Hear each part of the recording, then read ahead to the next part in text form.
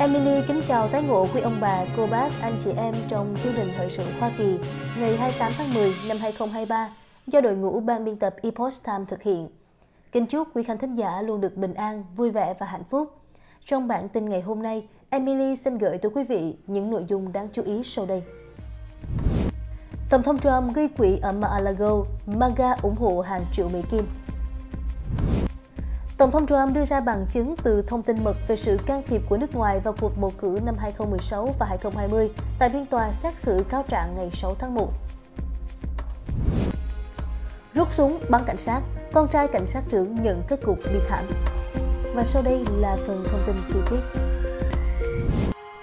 Kính thưa quý vị, hàng trăm người ủng hộ và mến mộ cuồng nhiệt nhất của cựu Tổng thống Donald Trump đã tập trung vào một phòng khiêu vũ hạng sang tại Mar-a-Lago hôm ngày 26 tháng 10, nhằm gửi thông điệp tới các thành viên đảng Cộng Hòa. Cuộc bầu cử sơ bộ đã kết thúc.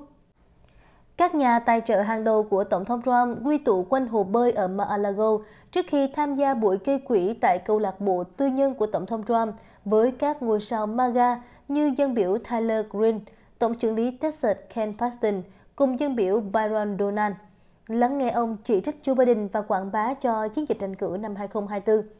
Đứng trên bục diễn thuyết, Tổng thống Trump ghi nhận Green, Donald và Paxton cũng như nhà hài kịch Roseanne Barr vì sự ủng hộ của bà.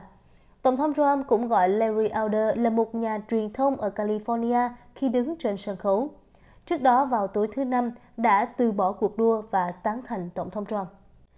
Tổng thống Trump nói rằng, Larry nói với tôi là đừng nghĩ ngợi nhiều khi ông ấy từ bỏ. Tôi sẽ là nhân vật chính và ông ấy quý tôi. Tôi cũng quý mến ông ấy. Cựu ngôi sao NFL Mike và Mauski Pausi cùng có mặt tại buổi sinh hoạt. Ước tính có khoảng 6 triệu đô được tuôn đổ cho những nỗ lực tranh cử năm 2024 của Tổng thống Trump. Theo số liệu công bố tại sinh hoạt, số tiền sẽ làm cho buổi gây quỹ tối thứ ba trở thành một trong những đợt gây quỹ chỉ trong một đêm lớn nhất trong chiến dịch tranh cử năm 2024 của Tổng thống Trump. Trong bài diễn văn kéo dài hơn một tiếng rưỡi đồng hồ, Tổng thống Trump tán dương vị trí dẫn đầu trong các cuộc thăm dò, chế nhạo các đối thủ gồm có Biden và Ron DeSantis, đồng thời nói về thành tích của ông tại Tòa Bạch Ốc. Bill Wise, Tổng Giám đốc Constellation Group, đồng thời là cựu tổng giám đốc của bảo tàng Interpret tại New York City, khen ngợi rằng bài phát biểu của Tổng thống Trump rất thẳng thắn, tập trung vào sự tồi tệ của mọi khía cạnh và những gì ông ấy sẽ làm để sửa sai tất cả trong thời gian ngắn. Ông White cho biết, Tổng thống Trump lấy làm kiêu hãnh về chính sách đối ngoại của ông, nhấn mạnh rằng với tư cách là Tổng thống, ông sẽ đưa Iran, Bắc Hàn, Trung Quốc và Hamas vào khuôn phép và hứa sẽ giảm giá xăng. Trong khi các cuộc thăm dò cho thấy mức ủng hộ Tổng thống Trump gia tăng, ông ấy sẵn sàng đối đầu với Biden, nhấn mạnh rằng Tổng thống Trump lăng mạ sự khôn ngoan của Biden, so sánh ông với cựu Tổng thống Jimmy Carter theo kiểu không có triển vọng. Cuối tuần tới, Tổng thống Trump sẽ xuất hiện cùng với các đối thủ năm 2024 tại Las Vegas ở hội nghị thường niên Liên minh Do Thái Đảng Cộng Hòa. Tổng thống Trump đưa ra bằng chứng từ thông tin mật về sự can thiệp của nước ngoài vào cuộc bầu cử năm 2016 và 2020 tại phiên tòa xét xử cáo trạng ngày 6 tháng 1. Quý vị thân mến, đội ngũ bảo vệ cựu Tổng thống Donald Trump hôm thứ Năm đã đệ trình một kiến nghị mới chỉ ra rằng cựu Tổng thống sẽ trình bày thông tin mật và trần sự can thiệp của nước ngoài vào cả cuộc bầu cử Tổng thống Mỹ năm 2016 và 2020. Động thái này diễn ra trong bối cảnh cuộc chiến pháp lý đầy tranh cãi của thẩm phán Tanya Chutkan và do luật sư đặc biệt Jack Smith đứng đầu. Vào tháng 8, Tổng thống Trump đã bị buộc tội 4 tội danh trong vụ án giả mạo của Jack Smith vào ngày 6 tháng 1 tại DC. Âm mưu lừa gạt Hoa Kỳ, âm mưu cản trở một thủ tục tố tụng chính thức, cản trở và cố gắng cản trở một thủ tục tố tụng chính thức và âm mưu chống lại các quyền.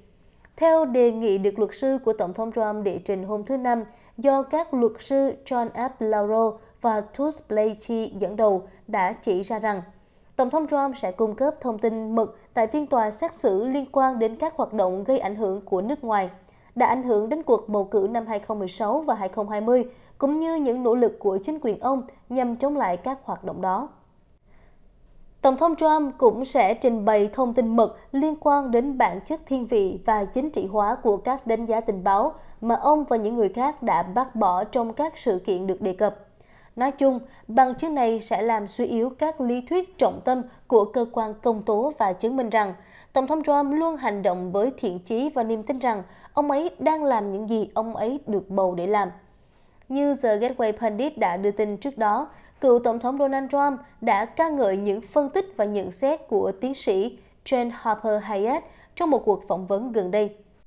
Harper Hayes, cựu phó chủ tịch toàn cầu của đảng Cộng hòa ở nước ngoài Vương quốc Anh, đã gây chú ý với những phát biểu của mình khi xuất hiện trên chương trình tin tức buổi sáng của Anh, Bữa sáng với Stephen và Alice.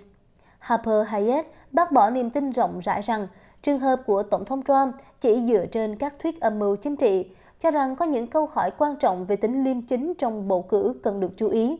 Cô còn cho rằng bản cáo trạng hiện tại đã vô tình tạo cơ hội cho Tổng thống Trump trình bày vụ việc của mình và vạch trần những bất thường có thể xảy ra trong cuộc bầu cử. Trong cuộc phỏng vấn, Harper Hayes tự nhận là thành viên của lực lượng đặc nhiệm Bộ Quốc phòng DOD, khẳng định rằng lực lượng không gian có bằng chứng chứng minh tính chất gian lận của cuộc bầu cử năm 2020. Theo Harper Hayes, Tổng thống Trump đã chọn không tiết lộ sớm những bằng chứng như vậy để ngăn chặn tình trạng bất ổn dân sự vì tin rằng nó có thể dẫn đến một cuộc nội chiến. Tôi làm việc trong một lực lượng đặc nhiệm của Bộ Quốc phòng và vấn đề là họ có đủ chứng cứ, họ có bằng chứng và Tổng thống Trump biết rằng nếu ông ấy sớm đưa ra bất kỳ bằng chứng nào, chúng ta sẽ xảy ra một cuộc nội chiến. Rằng ông ấy thực sự cảm thấy rằng mọi người cần phải xem nó có thể tệ đến mức nào. Hãy xem, vấn đề là hãy nghĩ về Edward Snowden và tất cả thông tin mà ông ấy có. Hãy nghĩ về thực tế là quân đội của chúng ta, lực lượng không gian thuộc Bộ Quốc phòng của chúng ta.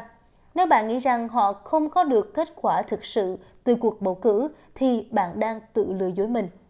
Tiến sĩ Harper Hayes đi sâu hơn vào sắc lệnh hành pháp 13848 được Tổng thống Trump ban hành vào ngày 12 tháng 9 năm 2018 cho rằng nó được thiết kế để chống lại sự can thiệp của nước ngoài vào các cuộc bầu cử ở Hoa Kỳ, tập trung vào cuộc bầu cử năm 2020. Bây giờ, hãy để tôi nói điều gì đó về cuộc bầu cử năm 2020 này, rằng Biden là tổng thống hợp pháp, nhưng ông ấy là tổng thống hợp pháp của nước Mỹ hiện đang phá sản. Corporation và đó là một hiệp ước năm 1871. Cô ấy tiếp tục, Cha, vào ngày 12 tháng 9 năm 2018, Tổng thống Trump đã ban hành một lệnh hành pháp, trong đó ông vạch ra các cuộc bầu cử trong tương lai bất kỳ hình thức can thiệp nào từ nước ngoài hoặc trong nước, đặc biệt là cuộc bầu cử năm 2020. Vì vậy, chúng tôi nói, làm sao ông ấy biết một số điều này sẽ xảy ra? Tính liêm chính trong bầu cử ở cả hai bên lối đi là rất khó khăn.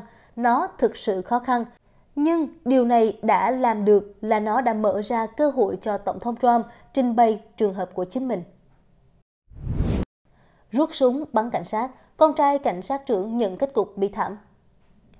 Thưa quý vị, con trai của cảnh sát trưởng thành phố Nashville, nghi phạm trong vụ nổ súng làm bị thương hai cảnh sát ngày 21 tháng 10 đã thiệt mạng sau một cuộc rượt đuổi với cảnh sát.